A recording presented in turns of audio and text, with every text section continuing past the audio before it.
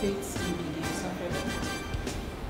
Um, I work with Cyberspace Network uh, as a business development uh, manager.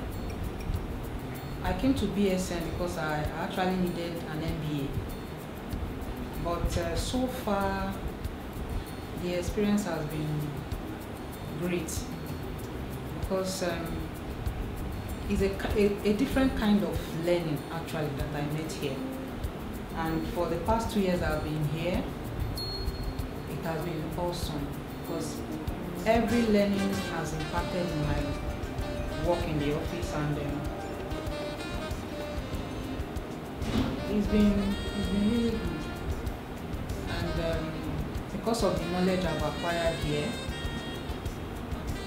I've, I've been promoted twice in my office because um, most of the things we learn here, I apply in my daily work, and it has been very helpful.